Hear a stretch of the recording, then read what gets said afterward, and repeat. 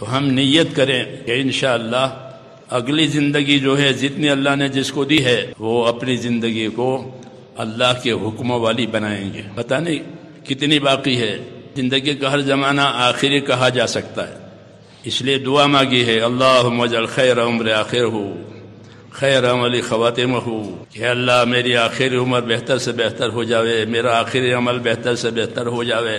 تو ان دعاؤں کا مقصد یہ ہے کہ آدمی اپنی آخرت کی فکر کے ساتھ اپنی زندگی گزارے۔ اس لیے کہ رخ آخرت ہی کی طرف ہے، دوسری طرف نہیں ہے۔ وہ علینا ترجعون، ہماری ہی طرف لوٹ کر آؤ گے یوں کا وہ علینا ترجعون، ہماری ہی طرف لوٹ کر آؤ گے، دوسری طرف جا ہی نہیں سکتے۔